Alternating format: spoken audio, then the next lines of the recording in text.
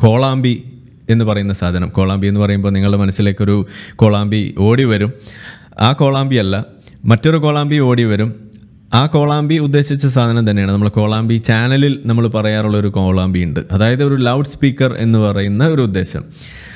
ഇന്ന് ലോകത്ത് എവിടെയാണ് ഈ പറയുന്ന നിരോധിക്കപ്പെട്ടിട്ടുള്ള ഈ കോളാമ്പി ഇന്നും ഉപയോഗിക്കുന്നത് എന്ന് ചോദിച്ചു കഴിഞ്ഞാൽ ഛേ സസ്പെൻസ് പൊളിഞ്ഞ്. ആ എവിടെയാണ് ഉള്ളതെന്ന് ചോദിച്ചു കഴിഞ്ഞാൽ അത് ഏറ്റവും കൂടുതൽ ഉപയോഗിക്കുന്നത് ആരാധനാലയങ്ങളിലാണ്. അത് ഏത് മതത്തിന്റെ എന്നുള്ളത് പിന്നത്തെ ചോദ്യമാണ്. പക്ഷേ നമ്മൾ പറയുന്നു അത് മത ആരാധന ആലയങ്ങളിലാണ് ഏറ്റവും കൂടുതൽ ഈ നിരോധിക്കപ്പെട്ട സാധനം ഇന്നും ഉപയോഗിച്ചുകൊണ്ടിരിക്കുന്നത്. അങ്ങനെ ഉള്ള ഒരു സംഗതി. എന്തുകൊണ്ടാണ് നിരോധിച്ചത് എന്ന് ചോദിച്ചു കഴിഞ്ഞാൽ വളരെയധികം ശബ്ദ മലിനീകരണം ഉണ്ടാക്കുന്ന സാധനമാണ് എന്ന ഒരു പേരിലാണ് അത് നിരോധിക്കപ്പെട്ടത്.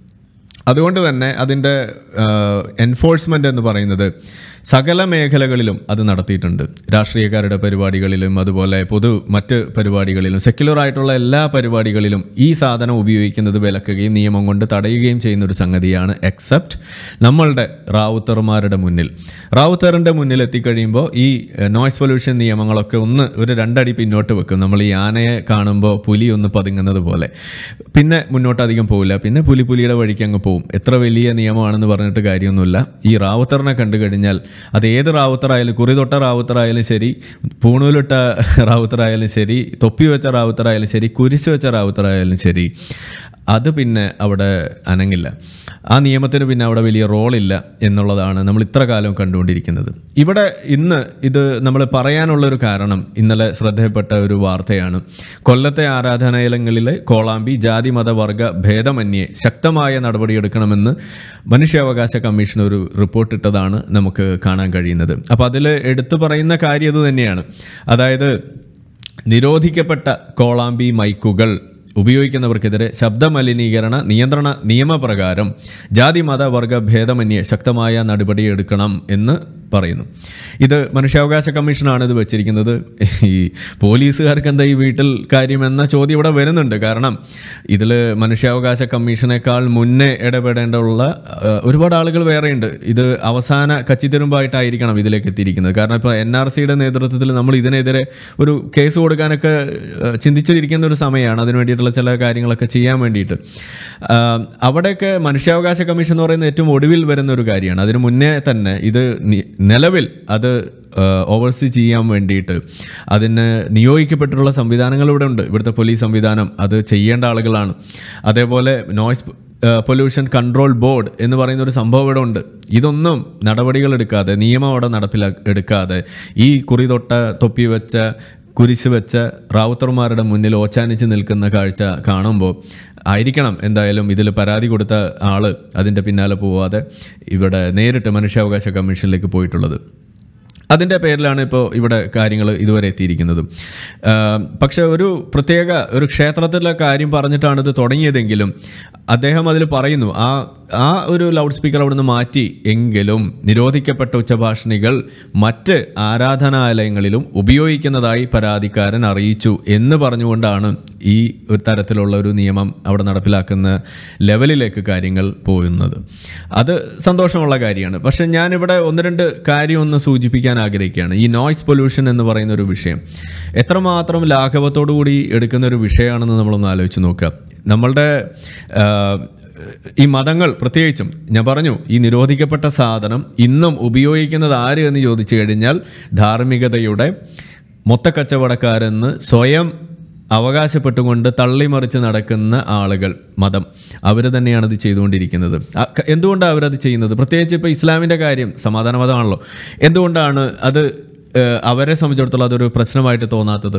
ഒറ്റ കാരണമേ ഉള്ളൂ. കിതാബിൽ അത് എഴുതിയിട്ടില്ല എന്നുള്ളത് കൊണ്ടാണ് കാരണം അവരെപ്പോഴും ചോദിക്കും. ചില ആളുകൾ ഈ ധാർമ്മികതയുടെ വിഷയം വരുമ്പോൾ എല്ലാ മതക്കാരും കണക്കാണ്. ഇപ്പോൾ കഴിഞ്ഞ ദിവസമൊക്കെ നമ്മളുടെ ഇൻബോക്സിൽ വന്നിട്ട് ചില ആളുകൾ ചോദിക്കുന്നുണ്ട്. ധാർമ്മികത ഒബ്ജക്റ്റീവ് ആണോ സബ്ജക്റ്റീവ് ആണോ ഞാൻ അവരോട് ചോദിക്കുന്നത് അത് ഒബ്ജക്റ്റീവോ സബ്ജക്റ്റീവോ ആകണമെന്ന് എന്താ നിർബന്ധം? ഒന്നാമത്തെ ചോദ്യം അതാണ്. പിന്നെയല്ലേ സബ്ജക്റ്റീവ് ആണോ ഒബ്ജക്റ്റീവ് ആണോ എന്ന ഒരു ചോദ്യം പോലും വരുന്നത്.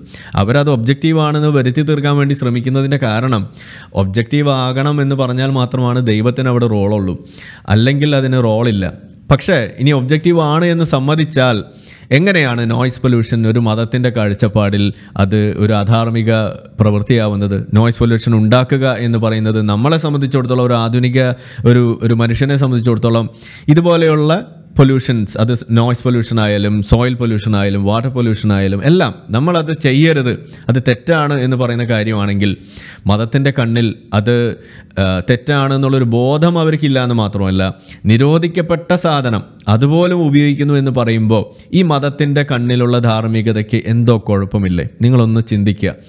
വലിയ വലിയ കാര്യങ്ങളൊക്കെ പറഞ്ഞു കഴിയുമ്പോൾ ആയിഷ കല്യാണോ അതല്ലെങ്കിൽ മറ്റേതെങ്കിലും ഇപ്പോൾ ചാതുർ വർണിയോ ഇതൊക്കെ എടുത്തിട്ട് വെച്ച് കഴിഞ്ഞാൽ അല്ലെങ്കിൽ ഓ മതസൗഹാർദ്ദം എല്ലാത്തിലും പറയേണ്ട ഒരു വലിയ പുലിവാലാണ്. എന്നാലും പറയാണ് ക്രിസ്തീയ മതത്തിൽ വിശ്വാസത്തിൽ ഏതെങ്കിലും പോരായ്മ. ഇപ്പോൾ എന്താണ് എടുത്ത് പെട്ടെന്ന് പറയാൻ കിട്ടുന്നില്ല. പോട്ടെ ക്ഷമിക്കുക അങ്ങനെയുള്ള സാധനങ്ങൾ എടുത്ത് പറയുമ്പോൾ നിങ്ങൾക്ക് മനസ്സിലാക്കാൻ വലിയ പാടാണ്. അത് അത് നിങ്ങൾ തെറ്റായി മനസ്സിലാക്കിയതാണ് എന്നൊക്കെ നിങ്ങൾ പറഞ്ഞ് അതിനെ മാറ്റും. അത് ഞങ്ങളുടേത് അങ്ങനെയല്ല അത് ഈ മതത്തിലല്ല ആ മതത്തിലുണ്ട് എന്നൊക്കെ പറഞ്ഞിട്ട് നിങ്ങൾ പറയുന്നു. പക്ഷേ നോയ്സ് പൊല്യൂഷന്റെ കാര്യം വരുമ്പോൾ അതൊരു അധാർമികതയാണ് എന്ന് ഇവിടെ ഓൾറെഡി വ്യവസ്ഥാപിതമായ രീതിയിൽ പറയുന്നൊരു ആയിരിക്കെ അത് എല്ലാ മതങ്ങളും ഒരുപോലെ ചെയ്യുന്ന ഒരു സംഗതിയാകുമ്പോൾ എന്തുകൊണ്ടാണ് നിങ്ങൾക്ക് അതിൽ നിന്ന് മാറി നിൽക്കാൻ കഴിയാത്തത്? കാരണം അതൊരു അധാർമിക പ്രവൃത്തിയാണ് എന്ന് നിങ്ങളുടെ മത കിതാബുകൾ പ്രകാരം നിങ്ങൾക്ക് അത് ആരും ഒബ്ജക്റ്റീവ്ലി നിങ്ങളെ പഠിപ്പിച്ചില്ല. പടച്ചോൻ അത് വിട്ടുപോയി. ദൈവം അത് വിട്ടുപോയി എന്നതാണ് നിങ്ങളുടെ പ്രശ്നം. പക്ഷേ ഇത് തന്നെയാണ് ഞാൻ പറഞ്ഞു വെക്കുന്നത്. നിങ്ങളുടെ മത കിതാബുകൾ പ്രകാരമുള്ള ധാർമ്മികതയുടെ ഏറ്റവും വലിയ കുഴപ്പവും അത് തന്നെയാണ്. മതത്തിലൊരു കാര്യം പറഞ്ഞാൽ അത് തെറ്റാണെങ്കിലും നിങ്ങളത് ചെയ്യും. അത് ശരിയാണെങ്കിലും നിങ്ങളത് ചെയ്യാതിരിക്കും എന്നതാണ് മതം സൃഷ്ടിക്കുന്ന ഏറ്റവും വലിയ കുഴപ്പം. അതായത് എത്ര നല്ല മനുഷ്യനായാലും അധാർമികമായ ഒരു പ്രവൃത്തി ചെയ്യാൻ മതം വഴിവെക്കുമെന്നുള്ളതാണ് മതത്തിന്റെ ഏറ്റവും വലിയ കുഴപ്പമായിട്ട് ഞാൻ കാണുന്നത്. അതിവിടെ നിങ്ങൾക്കൊരു എക്സാമ്പിൾ വെച്ച് ഞാൻ കാണിച്ചു തരികയാണ്. ഇനി ലോകത്തെ തന്നെ ഒരു നോയ്സ് പൊല്യൂഷൻ ലെവൽ ഏറ്റവും കൂടുതലുള്ള സ്ഥലങ്ങൾ എടുത്തു കഴിഞ്ഞാൽ അതിൽ മുൻപന്തിയിൽ നിൽക്കുന്ന ഒരു സ്ഥലമാണ് ഇന്ത്യ. അതിൽ തന്നെ യു പിയിലെ മൊറാദാബാദാണ് സെക്കൻഡ് ലോകത്തെ തന്നെ ഏറ്റവും കൂടുതൽ സൗണ്ട് പൊല്യൂഷനുള്ള പത്ത് സ്ഥലങ്ങൾ എടുക്കുമ്പോൾ അതിൽ രണ്ടാം സ്ഥാനത്ത് യു പിയിലെ മൊറാദാബാദാണ് ധാക്ക ഒന്നാം സ്ഥാനത്ത് ബംഗ്ലാദേശ് രണ്ട് മൊറാദാബാദ് മൂന്ന് ഇസ്ലാമാബാദ് പിന്നെ രാജ് ഷാഹി ബംഗ്ലാദേശിൽ തന്നെ പിന്നെ ഹോച്ചിമിൻ സിറ്റി നമ്മളുടെ വിയറ്റ്നാമിൽ ഇതിൽ ആദ്യത്തെ നാലെണ്ണവും അവിടെ ഒരു പ്രത്യേക മതം അത് ഏതാണെന്ന് ഞാൻ പറയും. നിങ്ങൾ ഊഹിച്ച് കണ്ടെഴുതി ബാക്കി പൂരിപ്പിച്ച്. ഇനി ഞാൻ പറഞ്ഞ് എന്നെ വെറുതെ ഇസ്ലാമോഫോബിക്കാണെന്നൊക്കെ പറഞ്ഞാളെ എന്നെ വിട്ടേക്ക്. നമുക്കിപ്പോൾ അത് നിവൃത്തിയില്ല ചെയ്യാൻ. ഇത് സംബന്ധിച്ചിട്ട് ഈ നോയ്സ് പൊല്യൂഷൻ സംബന്ധിച്ചിട്ടുള്ള കാര്യങ്ങൾ ആ കാര്യങ്ങൾ പറഞ്ഞുകൊണ്ട് വിശദീകരിച്ചുകൊണ്ട് മുന്നേ ഒരു പ്രസന്റേഷൻ ചെയ്തത് ചെവി കേൾക്കാത്ത പടച്ചോൻ എന്ന് പറഞ്ഞിട്ടൊരു പ്രസന്റേഷൻ ചെയ്തതുണ്ട്. അത് നിങ്ങൾക്ക് കാണാം. ഇതിന്റെ സയൻസ് കാര്യമായിട്ട് അതിനകത്ത് ഞാൻ വിശദീകരിക്കുന്നുണ്ട്. എന്തൊക്കെയാണ് ഈ നോയ്സ് പൊല്യൂഷനിൽ കാര്യങ്ങൾ ശ്രദ്ധിക്കേണ്ടത് എന്ന് പറഞ്ഞുകൊണ്ട്. ഇത് കൂടാതെ ഒരു ഇപ്പോൾ ഒന്ന് നിങ്ങൾക്ക് മനസ്സിലേക്ക് കൊണ്ടുവരാൻ വേണ്ടിയിട്ട് ഞാനതൊന്ന് ചെറുതായിട്ട് ഒന്ന് ആവർത്തിക്കുകയാണ്. അതിൽ പ്രധാനമായിട്ട് ഈ നോയ്സ് പൊല്യൂഷന്റെ എഫക്ട്സ് എന്ന് പറയുമ്പോൾ ഒരു ഡിറക്റ്റ് എഫക്റ്റും പിന്നെ കുറച്ച് ഇൻഡിറക്റ്റ് ആയിട്ടുള്ള എഫക്ട്സ് എന്ന് വേണമെങ്കിൽ നമുക്ക് പറയാം. അതല്ലെങ്കിൽ ചെവി കൊണ്ട് കേൾക്കുന്ന ഒരു സംഗതി ആണല്ലോ ശബ്ദം. അതുകൊണ്ട് ആ ചെവിക്കുണ്ടാകുന്ന പ്രശ്നം അതിനെ നമ്മൾ ഡിറക്റ്റ് എഫക്റ്റ് എന്ന് നമ്മൾ വിളിക്കുന്നു. അതുകൂടാതെ ആ ചെവിയിലുണ്ടാകുന്ന പ്രശ്നങ്ങളല്ലാതെ മറ്റു സ്ഥലങ്ങളിൽ ഉണ്ടാകുന്ന മറ്റു പ്രശ്നങ്ങൾ ഇതിനെയും കൂടി നമ്മൾ പറയുകയാണ്. ഇത് രണ്ടും എടുത്ത് നോക്കുകയാണെന്നുണ്ടെങ്കിൽ അതിനകത്ത് ബ്രോഡായിട്ട് നമുക്ക് ഹിയറിംഗ് ലോസ് എന്നുള്ളൊരു വിഷയവും രണ്ട് സൈക്കോളജിക്കലായിട്ടുള്ള മറ്റ് പല വിഷയങ്ങളും അതിനെ തുടർന്നുള്ള സൈക്കോസൊമാറ്റിക് മാനിഫെസ്റ്റേഷൻസും നമുക്ക് അതിനകത്ത് കാണാൻ കഴിയും. അങ്ങനെ നോക്കുമ്പോൾ ഹിയറിംഗ് ലോസിനെ കുറിച്ച് നമ്മൾ പറയാറുണ്ട്. ചെവി ആ, വലിയ ശബ്ദമുള്ള സ്ഥലങ്ങളിൽ ജോലിയെടുക്കുന്ന ആളുകൾ ഇയർ പ്ലഗ്സ് ഉപയോഗിക്കണം എന്നൊക്കെ പറയുന്നതിനെ കുറിച്ച് നിങ്ങൾ കേട്ട് കാണും. അതിന്റെയൊക്കെ കാരണം ആ ചെവിയുടെ ഡാമേജ് ഒഴിവാക്കുക എന്നുള്ളതാണ്. അതായത് നമ്മളുടെ സാധാരണ സംസാരത്തിന്റെ ഒരു ലെവൽ എന്ന് പറയുന്നത് ഒരു ഡെസിബൽ കണക്കിനാണ് നമ്മൾ ശബ്ദത്തിന്റെ തോത് നമ്മൾ അളക്കുന്നത് അതിന്റെ യൂണിറ്റ് എന്ന് പറയുന്നത്. അങ്ങനെ നോക്കുകയാണെന്നുണ്ടെങ്കിൽ ഒരു ഒരു അമ്പത് ഡെസിബൽ അമ്പത്തഞ്ച് ഡെസിബൽ വരെയൊക്കെയാണ് സംസാരത്തിൽ അതിന്റെ ലെവൽ എന്ന് പറയുന്നത്. ഈ ഒരു ഒരു ഇതുപോലെയുള്ള ഇൻഡസ്ട്രിയൽ എൻവയോൺമെന്റ് അതല്ലെങ്കിൽ നോയ്സി എൻവയോൺമെന്റ്സ് അതല്ലെങ്കിൽ സിറ്റീസിലേക്കൊക്കെ വന്നു കഴിയുമ്പോൾ അത് അമ്പത്തഞ്ചിന്റെ അറുപതിന്റെ എഴുപതിന്റെ ഒക്കെ മുകളിലേക്ക് പോകുന്നു. അതിൽ എൺപതിന്റെ മുകളിലേക്ക് പോകുമ്പോൾ അത് സീരിയസ് ആയിട്ടുള്ള പ്രശ്നങ്ങൾ നമ്മൾ ചെവിക്ക് ഉണ്ടാകുമെന്നും അതുകൊണ്ട് ചെവി നമ്മൾ കവർ ചെയ്യണമെന്നും അത് പ്ലഗ്സ് ഉപയോഗിക്കണമെന്നും. അതുപോലെ തന്നെ ലൗഡ് ആയിട്ടുള്ള മ്യൂസിക് നമ്മൾ ഇനിയർ ഹെഡ്സെറ്റ്സ് ഒക്കെ കൂടുതൽ ഇമാതിരി സാധനമൊക്കെ കൂടുതൽ ഉപയോഗിക്കുമ്പോൾ നമ്മൾ അധികം നേരം ഉപയോഗിക്കരുത്. അത് ഗ്യാപ്പ് ഗ്യാപ്പ് കൊടുക്കണം സൗണ്ട് കുറച്ച് വെച്ച് കേൾക്കണമെന്ന് പറയുന്നത് അതുകൊണ്ടാണ്. ഓവർ ദ ഇയർ ഹെഡ്സെറ്റ് ഉപയോഗിക്കണം എന്ന് പറയുന്നത് അതുകൊണ്ടാണ്. അതേപോലെ പല പല കാര്യങ്ങൾ നമ്മൾ പറയുന്നു. പിന്നെ ഇതിന്റെയോടൊപ്പം നമ്മൾ കാണുന്ന ഒരു കാര്യമാണ്. സൗദി അറേബ്യയിൽ രണ്ടായിരത്തി ഇരുപത്തിൽ ഒന്നിൽ വന്ന വാർത്തയാണ് ഇത് ഇരുപത്തൊന്ന് ഇരുപത്തിരണ്ടിൽ അവിടെ അവിടെയുള്ള പള്ളികളിൽ ബാങ്ക് കൊടുക്കുന്ന സമയത്ത് ലൗഡ് സ്പീക്കർ എന്ന് പറയുന്ന സാധനം അത് അവിടെ ഓൾറെഡി നിരോധിക്കപ്പെട്ട ഒരു സാധനമാണ്. അതോടൊപ്പം തന്നെ അതിന്റെ വോളിയം വൺ തേർഡ് ആയിട്ട് കുറയ്ക്കണമെന്നൊരു നിയമം ഉണ്ടായി ഇപ്പോൾ ഉള്ള വോളിയത്തിന്റെ മൂന്നിലൊന്ന് മാത്രമേ ഇനി പാടുള്ളൂ എന്നുള്ളത്. In major policy last week in a country home to the holiest Muslims its the Islamic affairs ministry set the loud speakers should be set at no more than one third of their maximum volume ഇത് Saudi അറേബ്യയിൽ വന്നിട്ടുള്ള വാർത്തയാണ്. ഇത് വരുന്ന സമയത്താണ് നമ്മളുടെ നാട്ടിൽ ഇത് കൂടുതൽ കൂടുതൽ ഒച്ചയിലുണ്ടാകുന്ന രീതിയിൽ. ഇപ്പം എന്റെയൊക്കെ തൊട്ടടുത്തുള്ള പള്ളിയിൽ ഏതാണ്ട് നാലോ അഞ്ചോ ഇതുപോലെയുള്ള നിരോധിക്കപ്പെട്ട കോളാമ്പി വെച്ചിട്ടാണ് അവിടെ ഒച്ചയും ബഹളവും ഉണ്ടായിക്കൊണ്ടിരിക്കുന്നത്. നിങ്ങളൊക്കെ കേട്ട് കാണും. വളരെ വിഖ്- വിശ്വവിഖ്യാതമായിട്ടുള്ള ബാങ്ക് വിളിയാണത്. നമുക്കിവിടെ കേൾക്കാം. ഇത് കേരളത്തിലും ഇത് സംബന്ധിച്ചിട്ടുള്ള പല സമയങ്ങളിലായിട്ട് ഇതിനെക്കുറിച്ചുള്ള വാദങ്ങൾ മുന്നോട്ട് വെച്ചിട്ടുണ്ട്. ഇത് ശ്രദ്ധിക്കണം ഇത് ഇതിന്റെ ലോ എൻഫോഴ്സ്മെന്റ് പ്രോപ്പർ ആക്കണം എന്നൊക്കെ പറഞ്ഞിട്ട് പല കാലങ്ങളിൽ ഇത് ചെയ്തിട്ടുണ്ടെങ്കിലും നമ്മളുടെ കുറി തൊട്ട് കുരിശു വരച്ച തൊപ്പി വെച്ച റാവുത്തറിന്റെ മുന്നിൽ എത്തുമ്പോൾ ഈ നിയമം അവിടെ മുട്ടുമടക്കുന്നു. അത് മുന്നോട്ട് പോകാൻ സാധിക്കുന്നില്ല എന്നതാണ് നമ്മളെപ്പോഴും കാണാറുള്ളത്. അതിവിടെയും നമ്മൾ കാണുന്നു. ഇത് ഒരിക്കലും ഇതിപ്പോൾ രണ്ടായിരത്തി ഇരുപത്തി ഒന്ന് നവംബറിൽ വന്നിട്ടുള്ള വാർത്തയാണ്. ഇതിനും പ്രത്യേകിച്ച് ഒരു മാറ്റം ഉണ്ടായിട്ടില്ല. എന്റെ വീടിനടുത്തുള്ള ഈ പ്രശ്നം ഇത് ചൂണ്ടിക്കാണിച്ചുകൊണ്ട് ഞാൻ നേരിട്ട് പോലീസിൽ വിളിച്ചപ്പോൾ അവിടുന്നും പറഞ്ഞത് നമുക്കൊന്നും ചെയ്യാൻ പറ്റില്ല എന്ന രീതിയിലാണ് അവർ പോലും റിപ്പോർട്ട് ചെയ്യുന്നതായിട്ട് നമുക്ക് കാണാൻ കഴിയും അപ്പോൾ പൊതുജനത്തെ സംബന്ധിച്ചിടത്തോളം ഇത് കേൾക്കുന്ന അധികാരികൾ ആരെങ്കിലും ഉണ്ടെങ്കിൽ അവർക്ക് വേണ്ടിയിട്ട് അല്ലെങ്കിൽ ഞാൻ മുന്നോട്ട് വെക്കുന്ന ഒരു കാര്യമാണ്. പൊതുജനങ്ങളെ സംബന്ധിച്ചിടത്തോളം ഈ പ്രശ്നം എവിടെ ചെന്നാൽ പരിഹരിച്ച് കിട്ടും. ഇത് ഇങ്ങനെ ഒരു വലിയ പത്രവാർത്തയാക്കാനോ ഇതിന്റെ പിന്നാലെ ഇതേപോലെ നിയമ പോരാട്ടം നടത്തിയാൽ മാത്രമാണോ പൊതുജനത്തിന് ഇതിൽ നിന്നൊരു മോചനം കിട്ടുള്ളൂ? അത് ഏത് മതത്തിന്റെതായിക്കോട്ടെ. ഞാൻ ആലോചിക്കാറുണ്ട് ഇവിടെ ഇപ്പോൾ ബാങ്ക് വിളി മാത്രമേ നമ്മൾ കേൾക്കാറുള്ളൂ. പക്ഷേ പുലർച്ചെ എഴുന്നേൽക്കുമ്പോൾ കുറച്ച് ദൂരെ നിന്ന് നമ്മളുടെ അമ്പലത്തിൽ നിന്നുള്ള സംഗതി ഇവിടെ കേൾക്കാറുണ്ട്. അപ്പോൾ ആ അമ്പലത്തിന്റെ അടുത്ത് താമസിക്കുന്ന ആളുകളുടെ അവസ്ഥ എന്തായിരിക്കും എന്ന് നിങ്ങളൊന്ന് ചിന്തിച്ച് നോക്കൂ.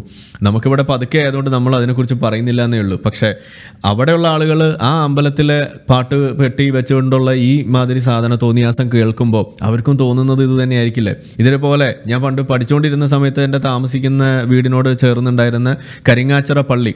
അവിടെ ഇതേപോലെ ഞായറാഴ്ചകളിൽ അവിടുത്തെ കുർബാന വലിയ തോതിൽ ശബ്ദം പുറത്തേക്ക് വെച്ചുകൊണ്ട് ചെയ്യുമായിരുന്നു. അതേപോലെ കുർബാനയാണോ മറ്റെന്തോ സംഗതികളൊക്കെ. അതേപോലെ ചില പരി പെരുന്നാളുകളൊക്കെ വന്നു കഴിയുമ്പോൾ ഒരു ഒരാഴ്ചയോളമൊക്കെ നീണ്ടു നിൽക്കുന്ന രീതിയിൽ ഇതേപോലെ വരുമ്പോൾ നമ്മളൊക്കെ പരീക്ഷയ്ക്ക് പഠിക്കുന്ന ഒരു സമയം കൂടി ആവുന്ന സമയത്ത് എത്രമാത്രം ബുദ്ധിമുട്ടുണ്ടായിരുന്നു എന്നൊന്ന് ആലോചിച്ച് നോക്കും. എല്ലാത്തിനുപരി ഇവിടുത്തെ രാഷ്ട്രീയക്കാർ അവർ അവരുടെ ഇലക്ഷൻ പ്രചരണ സമയം വരുന്ന സമയത്ത് ഇവരും ഇതേ തോന്നിയാസം തന്നെയല്ലേ കാണിക്കുന്നത്. അപ്പോൾ ഇത് നോയ്സ് പൊല്യൂഷൻ എന്ന് പറയുന്ന സംഗതി. നമ്മൾ എല്ലാ കാര്യത്തിലും Keralam number one Keralam India number one ഇപ്പോൾ എന്താണ് ഇപ്പോൾ മോദിയൊക്കെ ജി ട്വന്റിയിലൊക്കെ കാണിച്ചു വെക്കുന്ന അത്തരം കാര്യങ്ങൾ വലിയ അഭിമാനങ്ങളൊക്കെ നമുക്ക് നേടിത്തരുന്നു. ശരിയാണ്. പക്ഷേ ഇതുപോലെ ഇമ്പ്രൂവ് ചെയ്യേണ്ടതായിട്ടുള്ള ഒരുപാട് മേഖലകൾ മറ്റുമുള്ളത് അതും കൂടി നമ്മളൊന്ന് പരിഗണിക്കേണ്ടതില്ലേ? അതിലും നമ്മൾ അഭിമാനം കണ്ടെത്തേണ്ടേ എന്നാണ് എല്ലാവരോടും എനിക്ക് ചോദിക്കാനുള്ളത്. ഇത് ചില കാര്യങ്ങളിൽ മാത്രം മതിയോ നമ്മൾ ഇതുപോലുള്ള കാര്യങ്ങൾ? ഇന്ത്യ പിന്നിട്ട് നിൽക്കുന്ന അത് ഏത് തന്നെ മേഖലയായാലും അതിപ്പോൾ ഇനി പട്ടിണി മരണങ്ങളായാലും ശരി ഇതുപോലെയുള്ള റോഡ് അപകടങ്ങളെ കുറിച്ചിട്ടുള്ള കണക്കുകളായാലും ശരി മറ്റ് പല മേഖലകൾ നമ്മൾ എടുത്തു കഴിയുമ്പോൾ അതിലെല്ലാം കടന്നു വരുന്ന സാധനമാണ് ശിശുമരണ നിരക്കിനെ കുറിച്ച് നമ്മൾ പറയാറുണ്ട്. അതേപോലെ നമ്മൾ കണക്കിലെടുക്കേണ്ട ഒരു സംഗതിയാണ് ഈ പറയുന്ന ശബ്ദ മലിനീകരണം അത് സംബന്ധിച്ചിട്ടുള്ള കണക്കുകൾ അത് കുറയ്ക്കേണ്ടതിന്റെ കാര്യങ്ങൾ. ഇത് നമ്മൾ ചിന്തിക്കണം. ഇതൊക്കെ നമ്മൾ പറയുമ്പോൾ ഇവിടെ കടന്നിട്ട് നിലവിളിക്കുന്ന ചില വിശ്വാസികളെ നമുക്ക് കാണാം. ബഡായി. ഈ ബഡായി എന്ന് പറഞ്ഞു നിൽക്കുന്ന ആളുകളോട് നമുക്ക് പറയാനുള്ളത് നിങ്ങൾ ഇസ്ലാമിന്റെ ഈറ്റില്ലം അതിന്റെ കളിത്തൊട്ടിൽ എന്നൊക്കെ വിളിക്കുന്ന ആ സ്ഥലം നമ്മളുടെ ഒറ്റപ്പന ജനിച്ചു വളർന്ന സ്ഥലം ആ സ്ഥലത്ത് അവിടെ ഈ ലൗഡ് സ്പീക്കർ നിരോധിക്കുന്നു അതിന്റെ ശബ്ദം കുറയ്ക്കാൻ ആവശ്യപ്പെടുന്നു. അവിടെ ആ തരത്തിലുള്ള നിയമങ്ങൾ എടുക്കാൻ സാധിക്കുന്നുണ്ടെങ്കിൽ എന്തിനാണ് ഇന്ത്യയെ പോലെയുള്ള രാജ്യങ്ങൾ ഇതേപോലെ ശബ്ദ മലിനീകരണത്തിൽ ഏറ്റവും മുന്നിട്ട് നിൽക്കുന്നു എന്ന് പറയുന്ന രാജ്യങ്ങളിൽ അതിൽ തന്നെ ഏറ്റവും കൂടുതൽ പങ്കുവഹിക്കുന്നത് ഈ നിരോധിക്കപ്പെട്ട ഈ കോളാമ്പിയുടെ ഉപയോഗമെന്ന് വരുമ്പോൾ അത് തന്നെ ഏറ്റവും കൂടുതൽ ഉപയോഗിക്കുന്നത് മതങ്ങൾ മാത്രമാണെന്ന് വരുമ്പോൾ അതിൽ തന്നെ ഇസ്ലാം മതത്തിന് പങ്കുണ്ടെന്ന് വരുമ്പോൾ അതിൽ അത് മാറ്റുന്നതിനെക്കുറിച്ച് അത് തിരുത്തുന്നതിനെക്കുറിച്ച് പറയുമ്പോൾ നിങ്ങളതിന് മുന്നിട്ടിറങ്ങേണ്ട ആളുകളല്ലേ?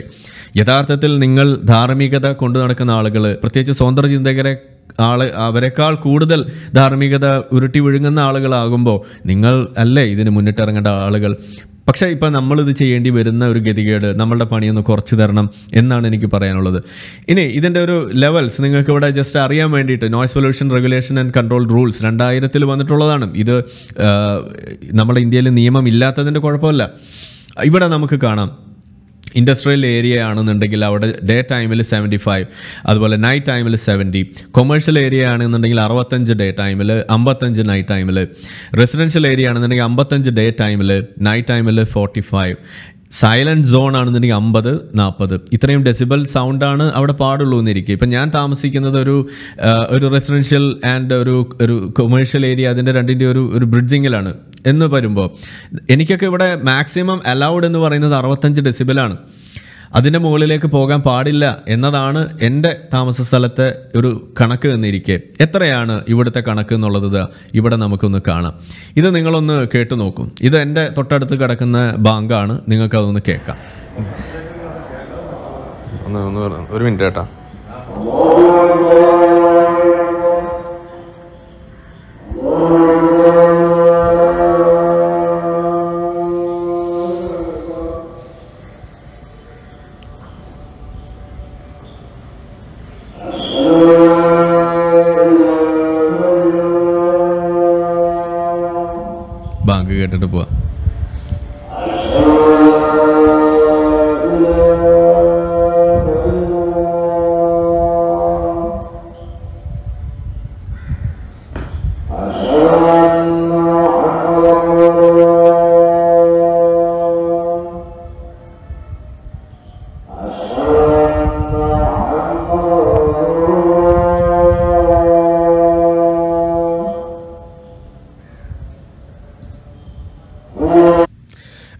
ഇതാണ് അവിടെ നടക്കുന്നത്. നിങ്ങൾക്ക് അവിടെ കാണാം. അതിലെ മാക്സിമം ഡെസിബൽ എന്ന് പറയുന്നത് ഹൺഡ്രഡ് ഡെസിബൽസ് ആണ് അവിടെ കാണിക്കുന്നത്.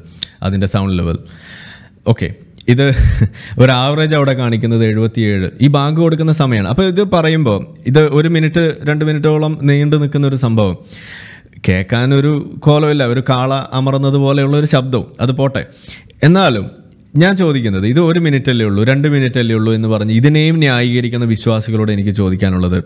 നമ്മളിവിടെ പറയുന്നത് ഇത് എന്തുകൊണ്ട് അപകടമുണ്ടാക്കുന്നു ഇത് എന്തുകൊണ്ട് തെറ്റാണ് എന്നുള്ളതിന്റെ കാര്യകാരണ സഹിതമാണ്. അതിൽ എടുത്തു പറയുന്ന ഒരു കാര്യം ഇപ്പം ഞാനിവിടെ നേരത്തെ കാണിച്ച കണക്ക് എന്ന് പറയുമ്പോൾ ഒരു അമ്പത് മുതൽ അമ്പത്തഞ്ച് നാൽപ്പത്തഞ്ച് എന്നൊക്കെ പറയുന്ന കണക്ക് ഇത് അഡൾട്ട്സിന്റെയാണ് ഈ ഇതേ വീടുകളിൽ കുട്ടികളുണ്ടാകും. ഇതേ വീടുകളിൽ അസുഖമുള്ള ആളുകളുണ്ടാവും. പ്രായമായിട്ടുള്ള ആളുകളുണ്ടാവും. നൈറ്റ് ഷിഫ്റ്റ് വന്നു കഴിഞ്ഞ് കിടന്നുറങ്ങുന്ന ആളുകളുണ്ടാവും. ഇങ്ങനെയൊക്കെയുള്ള ആളുകൾ ജീവിക്കുന്ന ഒരു സ്ഥലത്ത് ഇതുപോലെ ഒരു സംഭവം പെട്ടെന്ന് അവരുടെ ഉറക്കത്തിൽ കേൾക്കേണ്ടി വരുന്നു. അങ്ങനെ ഉണ്ടാകുന്ന സമയത്ത് എന്തായിരിക്കും അവരുടെ ശരീരത്തിൽ ഉണ്ടാക്കുന്ന ബുദ്ധിമുട്ടുകൾ? നിങ്ങൾ ആലോചിച്ച് നോക്കൂ. പല ഇഫക്ട്സിനെ കുറിച്ച് നമ്മൾ പറഞ്ഞു. നേരത്തെ പറഞ്ഞു അതിന്റെ ഒരു ഹിയറിംഗ് ലോസ് മുതൽ സൈക്കോളജിക്കൽ ആയിട്ടുള്ള ഇഫക്ട്സ് വരെ നമ്മൾ പറയുന്നു. പക്ഷെ നിങ്ങൾക്ക് ഇവിടെ കാണാം ഇതിൽ പല ഗ്രേഡ്സ് ഓഫ് സിംറ്റംസ് ആണ്. അടിസ്ഥാനപരമായിട്ട് ശബ്ദം എന്ന് പറയുന്നത് ലൗഡ് നോയ്സ് അത് അത് പ്രത്യേകിച്ച് സഡൻ ലൗഡ് നോയ്സ് ഈ പടക്കം പൊട്ടുന്നത് അടക്കമുള്ള ശബ്ദങ്ങൾ ഇതുപോലെ ഉറങ്ങിക്കിടക്കുമ്പോൾ പെട്ടെന്ന് ബാങ്ക് വിളിക്കുമ്പോൾ ഞെട്ടി എണീക്കുന്ന ആ ശബ്ദം. അതല്ലെങ്കിൽ പെട്ടെന്ന് എന്തെങ്കിലും ഇതേപോലെ ശബ്ദമായിട്ട് മാറുമ്പോൾ ഉണ്ടാവുന്ന പ്രശ്നം. അതും ഇതുപോലെ അരോചകമായിട്ടുള്ള അമറി വിളിക്കലുകളാകുമ്പോൾ ശബ്ദം എന്ന് പറയുന്നത് അത് ലൗഡ് ആവുകയും കൂടി ചെയ്തു കഴിഞ്ഞാൽ ദറ്റ് ഇസ് എ സ്ട്രെസ്സർ അതൊരു ബോഡിക്ക് ഒരു സ്ട്രെസ് ഉണ്ടാക്കുന്ന സാധനമാണ്. ആ സ്ട്രെസ് റെസ്പോൺസ് എന്ന് പറഞ്ഞു കഴിഞ്ഞാൽ ശരീരം അത് അതൊരു അപകട സൂചനയായിട്ട് മനസ്സിലാക്കി. നമ്മളുടെ ആ ഒരു ഇന്നേറ്റ് ആയിട്ടുള്ള ഒരു എവല്യൂഷണറി ആ ഒരു പാത്വേയിൽ നമ്മൾ സംശീകരിച്ച് വെച്ചിട്ടുള്ള ഒരു പ്രൊട്ടക്റ്റീവ് മെക്കാനിസത്തിനെ കിക്ക് സ്റ്റാർട്ട് ചെയ്യാണ് ചെയ്യുന്നത്.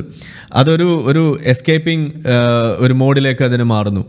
അതിനെ മാറ്റിയെടുക്കുന്നു. കാരണം ശബ്ദം എന്ന് പറയുന്നത് ആനയുടെ ശബ്ദം അല്ലെങ്കിൽ പുലിയുടെ ശബ്ദം അതല്ലെങ്കിൽ എന്തെങ്കിലും വീഴുന്ന ശബ്ദം ഒടിയുന്ന ശബ്ദം അങ്ങനെയൊക്കെയുള്ള ശബ്ദങ്ങളായിട്ട് ഭയത്തെ നമ്മൾ അളന്ന് മുറിച്ച് വെക്കുന്ന ഒരു രീതിയാണ് നമ്മളുടെ ശരീരം നമ്മളെ പഠിപ്പിച്ചു വെച്ചിരിക്കുന്നത്. അതുകൊണ്ട് തന്നെ ശബ്ദം അത് അബോധാവസ്ഥയിൽ പെട്ടെന്ന് ഉറങ്ങിക്കിടക്കുമ്പോഴോ അങ്ങനെയൊക്കെയുള്ള അവസരത്തിൽ കേട്ടാൽ നമ്മൾ ഞെട്ടുന്നത് പോലും അതുകൊണ്ടാണ്. ഞെട്ടുന്നത് എന്തിനാണ് എന്നുള്ളത് ചോദിച്ചാൽ that is a warning that is a stressor ആ സ്ട്രെസ്സർ ആയതുകൊണ്ടാണ് നമ്മൾ ഞെട്ടുന്നത്. പാട്ട് കേട്ടിട്ട് ആരും ഞെട്ടാറില്ല. ചെറിയ സ്വകാര്യം പറഞ്ഞാൽ ആരും ഞെട്ടാറില്ല. അതേസമയം പടക്കം പൊട്ടിയാൽ നമ്മൾ ഞെട്ടും. ബാങ്ക് വിളിക്കുമ്പോൾ കുട്ടികൾ ഞെട്ടണം നിങ്ങൾ കണ്ടിടാം അടുക്കളയിൽ കുക്കർ വലിയ തോതിൽ വിസിലടിക്കുമ്പോൾ കുട്ടികൾ ഞെട്ടും. കുട്ടികൾ പേടിക്കുന്നത് നിങ്ങൾ കണ്ടിട്ടുണ്ടാവും. മിക്സി ഓണാക്കുമ്പോൾ പേടിക്കുന്ന കുട്ടികൾ എന്താ അതിന്റെ കാരണം? ശബ്ദം പ്രശ്നമാണ്. ഇതേപോലെ മറ്റൊരു കാരണം നിങ്ങൾക്കറിയാം. ചില ആളുകൾ പ്രസംഗിച്ചുകൊണ്ടൊക്കെ നിൽക്കുമ്പോൾ ബാങ്ക് വിളിക്കുമ്പോൾ ഇങ്ങനെ മിണ്ടാതെ നിൽക്കും. അപ്പോൾ ആളുകൾ ആ കണ്ടില്ലേ? ഓ ഇത്ര മഹാൻ. സംഗതി വലിയ സംഖ്യയൊക്കെയാണ്. പക്ഷെ ബാങ്ക് കൊടുത്തപ്പോൾ ആൾ നിശബ്ദനായി നിന്നു. അയാൾ ബാങ്കിനെ ബഹുമാനിച്ചു എന്നാണ് പറയുന്നത്. സത്യത്തിൽ അതെന്താ? ബഹുമാനാണോ? അല്ല.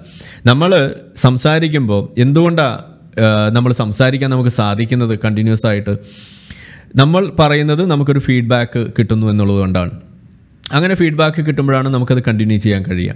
അപ്പോൾ നമ്മൾ ഒരു പ്രത്യേക ലെവൽ സൗണ്ടിൽ നമ്മൾ സംസാരിച്ചുകൊണ്ടിരിക്കുമ്പോൾ അതിനേക്കാൾ വലിയൊരു ശബ്ദം പുറത്തുണ്ടാകുമ്പോൾ അത് അവിടെ ഡാമ്പൻ ചെയ്യുന്നു. പകരം ആ വലിയ ശബ്ദം നമ്മൾ ചെവികളിലേക്ക് വരുമ്പോൾ നമ്മൾ പറയുന്നത് നമുക്ക് ഫീഡ്ബാക്ക് കിട്ടില്ല. നമ്മൾ സ്റ്റേജിലൊക്കെ സംസാരിക്കുന്ന സമയത്ത് ഒരു ഫീഡ്ബാക്ക് സ്പീക്കർ തന്നെ മുന്നിൽ വെക്കുന്നത് നിങ്ങൾ കണ്ടു കാണും. ഇപ്പം ഞാൻ ഈ ചെവിയിൽ വെച്ചിരിക്കുന്നത് പോലും ഞാൻ എന്താ പറയണതെന്ന് എനിക്ക് കേൾക്കാൻ വേണ്ടിയിട്ടും കൂടിയാണ്. അതേപോലെ മറ്റ് പല സംഗതികളും. ഇല്ലെങ്കിൽ എനിക്ക് സംസാരിക്കാൻ പാടാണ്. കാരണം നമ്മളുടെ ശബ്ദം എനിക്ക് കേൾക്കാൻ കഴിയില്ല.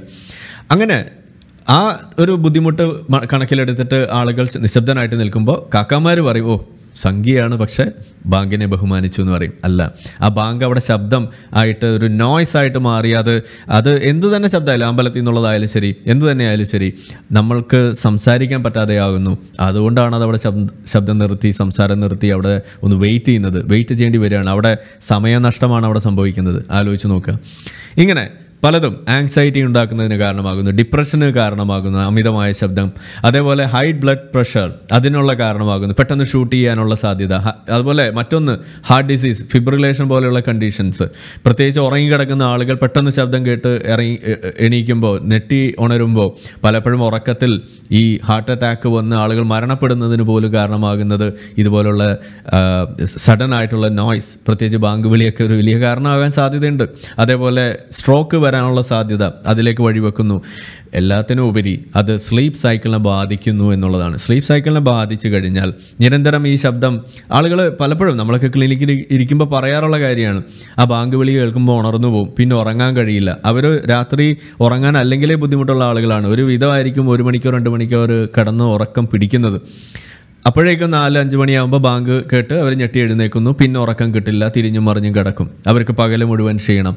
ഉറങ്ങാൻ കഴിയില്ല. ഇങ്ങനെയുള്ള ബുദ്ധിമുട്ടുകൾ പല കാരണങ്ങളുണ്ട്. അതിൽ ബാങ്ക് ഒരു വലിയ വില്ലനായി മാറുന്നു. പ്രത്യേകിച്ച് മറ്റൊരു വില്ലൻ എന്ന് പറയുന്നത് ടെമ്പറേച്ചറാണ് നമ്മൾ കിടന്ന് ഉറങ്ങുമ്പോൾ ഒരു ആംബിയൻ ടെമ്പറേച്ചർ അതൊരു ട്വന്റി ഫൈവ് ട്വന്റി ഫോറിനൊക്കെ മുകളിലേക്ക് പോയി കഴിഞ്ഞാൽ നമുക്ക് ഉറക്കം കാര്യമായ രീതിയിൽ കിട്ടില്ല. ടെമ്പറേച്ചർ റെഗുലേറ്റ് ചെയ്യണമെന്ന് പറയുന്നത് അതുകൊണ്ടാണ് ഇങ്ങനെയൊക്കെയുള്ള പല കാര്യങ്ങളുള്ളതിൽ പല ഘടകങ്ങളെയും ആംപ്ലിഫൈ ചെയ്യുന്ന ഒരു ഘടകം കൂടിയായിട്ട് ഇവിടെ ഈ നോയ്സ് പൊല്യൂഷൻ വരുന്നത് കൊണ്ടാണ് നമ്മളത് സൂക്ഷിക്കണം എന്ന് പറയുന്നത്. ഞാൻ നേരത്തെ പറഞ്ഞ വിഷയം അതിന്റെ ഒരു പിക്ചറൈസേഷൻ എങ്ങനെയാണ് എങ്ങനെയാണ് ഈ സ്ട്രെസ്സറായിട്ട് ഇത് വർക്ക് ചെയ്യുന്നതെന്ന് ചോദിച്ചു കഴിഞ്ഞാൽ അമിഗ്ഡാല എന്ന് പറയുന്ന ആ ബ്രെയിനിന്റെ ഭാഗം. ആ ഭാഗത്താണ് ഇത് നേരിട്ട് പതിക്കുന്നതും അതിനെക്കുറിച്ചുള്ള പ്രോസസ്സിങ് സ്റ്റാർട്ട് ചെയ്യുന്നതും ഈ സിഗ്നൽസ് അങ്ങനെ വരുന്ന സാധനം അത് പ്രോസസ്സ് ചെയ്ത് ഹൈപ്പത്തലാമസിലേക്ക് പോയി അത് ബ്രെയിനിലേക്ക് എത്തി അത് മീൻസ് അത് അവിടെ പ്രോസസ്സ് ചെയ്തതിന് ശേഷം അത് അഡ്രൻ അഡ്രിനൽ ഹോർമോൺസ് ഉണ്ടാക്കുന്നതിലേക്കും കോർട്ടിസോൾ ഉണ്ടാക്കുന്നതിലേക്കും അങ്ങനെ അങ്ങനെ പോയി. നമ്മളെ എണീറ്റ് ഓടാൻ പ്രാപ്തനാക്കുന്നു. മസിൽസ് പ്രോപ്പറായിട്ട് ഫങ്ഷൻ ചെയ്യാനുള്ള പ്രാപ്തനാക്കുന്നു. ഉറങ്ങിക്കിടക്കുന്നിടത്തുനിന്ന് ഞെട്ടി എഴുന്നേറ്റ് നമുക്ക് ഓടാൻ കഴിയുന്നത് അതുകൊണ്ടാണ്. പെട്ടെന്നുള്ള ശബ്ദം കേൾക്കുമ്പോൾ നമ്മൾ ഓടി ഒളിക്കുന്നത് ഒടിക്കാൻ പറ്റുന്നതൊക്കെ അതുകൊണ്ടാണ്. ഇത് ഇങ്ങനെയുള്ളൊരു സംഗതി ഉണ്ടായത് ഉണ്ടായതുകൊണ്ടാണ് ഗുഹാമനുഷ്യരായിട്ടുള്ള നമുക്ക് ഇത് ഇതുപോലെയുള്ള പല ആപൽഘട്ടങ്ങളിൽ നിന്ന് ഓടി രക്ഷപ്പെട്ട് ഇന്ന് ഇതേപോലെ മൈക്കിന്റെ മുന്നിൽ വന്ന് അധിക പ്രസംഗം നടത്തുന്ന ആളുകളായിട്ട് നമുക്ക് മാറാൻ കഴിഞ്ഞത്.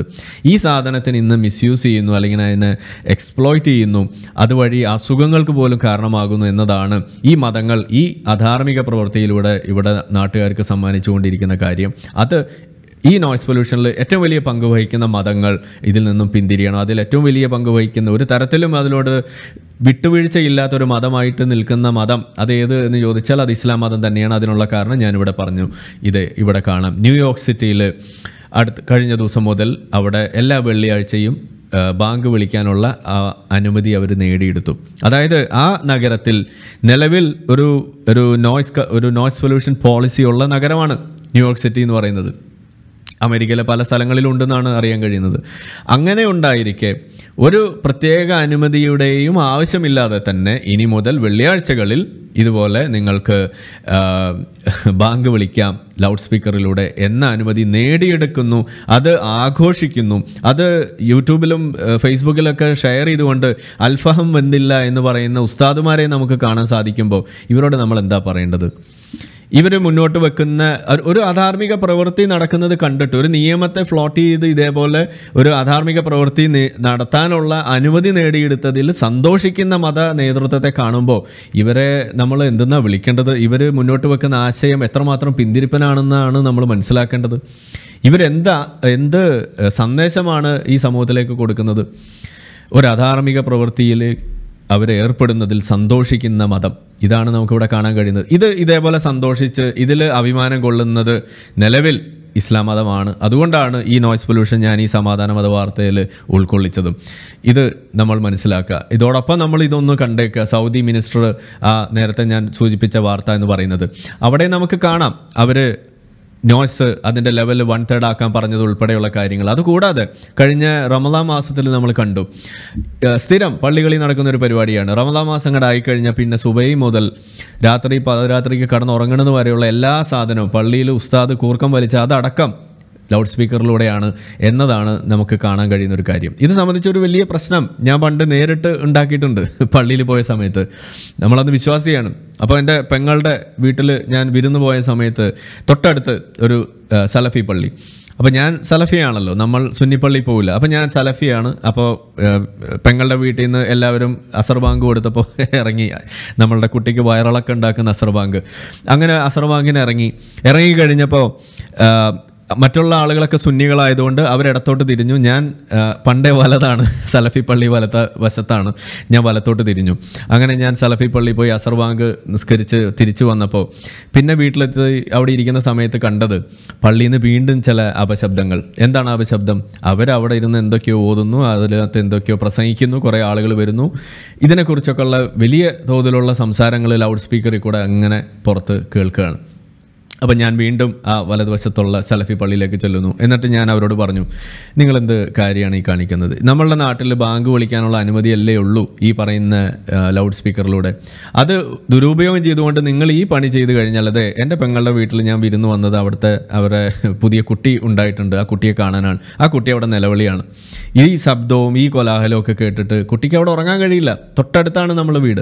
അപ്പോൾ നിങ്ങളിതൊന്ന് ഒന്ന് ഓഫാക്കി വെക്ക്. നിങ്ങൾ ഈ യന്ത്രം ഒന്ന് അവസാനിപ്പിക്കുന്ന പ്രവർത്തിപ്പിക്കുന്നത്. എന്നിട്ട് നിങ്ങൾ ഇവിടെ അകത്തിരുന്ന് പറഞ്ഞോ അകത്ത് ഉള്ള ലൗഡ് സ്പീക്കറിൽ നിങ്ങൾ എന്ത് വേണേലും വിളിച്ചു കൂവിക്കോ. മാപ്പിളപ്പാട്ട് പാടിയാലും കുഴപ്പമൊന്നുമില്ല. പക്ഷേ നാട്ടുകാർക്ക് ബുദ്ധിമുട്ടുണ്ടാക്കരുത് എന്ന് പറഞ്ഞപ്പോൾ അവരെടുത്ത വഴിക്ക് പറഞ്ഞ കാര്യം അപ്പുറത്ത് സുന്നിപ്പള്ളിയിലും അതുണ്ടല്ലോ. ഞങ്ങൾ മാത്രം എന്താ ചെയ്യുമ്പോൾ ഇത്ര വലിയ പ്രശ്നമെന്നാണ് ചോദിക്കുന്നത്. ഇതാണ് ധാർമ്മികതയുടെ മറ്റൊരു പ്രശ്നം. ഇവർ മുന്നോട്ട് വെക്കുന്ന ന്യായവൈകല്യം എന്ന് പറയുന്നത് ഈ സാധനമാണ്. ടു കോക്ക് ഫാലസി എന്ന് പറയും. അതായത് ഒരാളൊരു തെറ്റ് ചെയ്യുന്നത് അത് നമ്മൾ ചൂണ്ടിക്കാണിച്ച് കഴിയുമ്പോൾ ആ അത് ഞങ്ങൾ മാത്രമല്ല അവരും ചെയ്യുന്നുണ്ട് ഓനും ചെയ്യുന്നുണ്ട് ഓനും ഓടിയല്ലോ ഓനും അടിച്ചല്ലോ ഓനും തിന്നല്ലോ എന്ന് പറയുന്ന നമ്മളെ പിള്ളേർ പറയുന്ന ആ തരം ഡയലോഗ് പറഞ്ഞുകൊണ്ട് നമ്മൾ ഏർപ്പെട്ടിരിക്കുന്ന അധാർമിക പ്രവൃത്തിയെ ന്യായീകരിക്കുന്ന രീതി ഇവിടെ നമുക്ക് കാണാൻ കഴിയാണ്. അന്ന് ആ സലഫി പള്ളിയിൽ നിന്ന് അവരുടെ ആ മറുപടി കേട്ടപ്പോൾ അപ്പുറത്തെ സുന്നിപ്പള്ളി ചെയ്യുന്നതോട് ഞങ്ങളും ചെയ്യുന്നു എന്ന് പറഞ്ഞു കേട്ടപ്പോൾ ഞാൻ അപ്പോൾ തന്നെ അവിടെ നിന്നിട്ട് നമുക്ക് പരിചയമുള്ള കോഴിക്കോട് സി ഡി സെന്ററിലെ മുജാഹിദ് സെന്ററിലേക്ക് ഞാൻ ഫോൺ വിളിച്ചു. എന്നിട്ട് അവിടെ അവിടെയുള്ള നമ്മളുടെ സുഹൃത്തിനോട് ഒരു സുല്ലമിയാണ് പുള്ളിയോട് ഞാൻ പറഞ്ഞു നിങ്ങൾ ഇങ്ങനെയാണോ നിങ്ങളുടെ അന്ന് ഈ ഫാലസി ഒന്നും നമുക്ക് അറിയില്ല ഞാൻ ചോദിച്ചു നിങ്ങളൊരു നിലപാട് മുന്നോട്ട് വെക്കുന്നു. സലഫികൾ എന്ന് പറഞ്ഞു കഴിഞ്ഞാൽ സമൂഹത്തിന് മാതൃകയാകേണ്ടവരാണെന്നൊക്കെയാണല്ലോ നമ്മൾ പഠിപ്പിച്ചിരിക്കുന്നത്. എന്നിട്ട് നിങ്ങളിതാണോ കാണിക്കുന്നത് ഇതൊരു അധാർമികതയല്ലേ? എന്ന് ഈ വാക്ക് വെച്ച് തന്നെയാണ് ഞാൻ അന്ന് ചോദിച്ചത്. അയാൾ ആ ഞാൻ നോക്കട്ടെ ഇപ്പം ശരിയാക്കാമെന്ന് പറഞ്ഞു പോയി എന്നുള്ളതല്ലാതെ ഇന്നും നിങ്ങൾക്ക് അവിടെ ആ ചാവക്കാട് ഭാഗത്ത് ചെന്ന് കഴിഞ്ഞാൽ അവിടെ ആ പള്ളിയിൽ നിന്ന് റമദാ മാസത്തിൽ ഇതുപോലെയുള്ള ഓരിയിടലും കൂർക്കം വലികളും മറ്റ് പല അപശബ്ദങ്ങളും നിങ്ങൾക്ക് അവിടുന്ന് കേൾക്കാം എന്നതാണ് ഇതിലെ കഥ.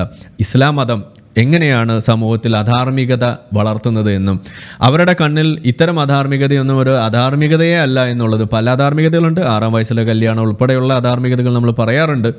അത് എങ്ങനെയാണ് അവരുടെ കണ്ണിൽ ഒരു ഒരു നോർമൽ സംഭവമാകുന്നത് എന്നതിന്റെ ഉത്തമ ഉദാഹരണമാണ് ഈ നോയ്സ് പൊല്യൂഷൻ വിഷയം. അത് നമ്മളൊന്ന് മനസ്സിലാക്കേണ്ടതാണെന്ന് ഞാനൊന്നിവിടെ പറയുകയാണ്. ഇനി അടുത്ത വിഷയമാണ്.